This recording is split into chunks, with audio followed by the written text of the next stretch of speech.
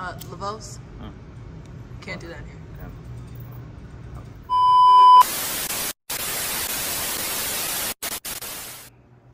2022 was a crossroads year for myself.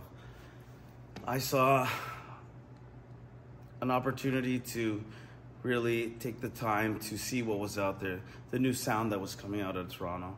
And I thought to myself that it needed to be more alive. I was left with the yearning taste of wanting that land flavor that has been part of our culture since the very beginning.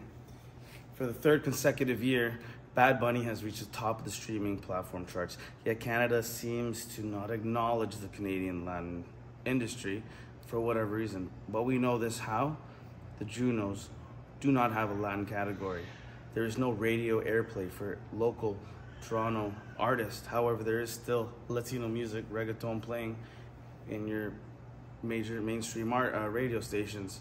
We don't, we can't get factors. It's very hard. How are we gonna go? Who's gonna fund us? There's not, they're not geared toward Latin music, even though the music is being made here, right in our very backyard in Canada, starting from the beginning to the end. It's all here. It is Canadian. We have another issue where we have the producers not moving a finger to work with us unless it's paid in cash, which is fine. I understand that. However, once the project's done, nobody's marketing, there's no content being created. All the dreams that were sold in order for us to create that project are just thrown away in the garbage, and there's really nothing we can do. We have DJs, we have promoters that have these artists performing for free, for free, and having them bring all their friends to that event, spending money on in the venue. Then we have events that don't have a lineup with not even one female artist. This is something that I cannot fathom. They do not represent nor do they respect the artists who have put the Latin community where it is. There's no regard, there's a disregard for those artists who have shaped this Latin community where it is now.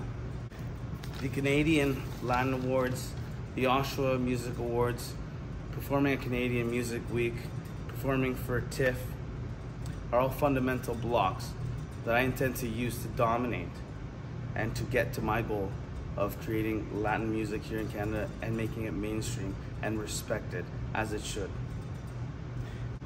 My main concern is that a label may come in and fill this void by choosing an artist that's just mimicking the sounds that have already been done in other countries. We want to make unique, true sound that's authentic and organic right here from Canada, El Norte. This year we saw the most Latin artists coming from around the world selling out shows here. So that is proof that we have the community. Que si se puede. Before sound, there was silence. Let our sound be heard now, stronger than ever. This is the final frontier of Latin music, El Norte. Si se puede, mi gente, y se empieza ahorita, ahorita mismo. ¡Ea!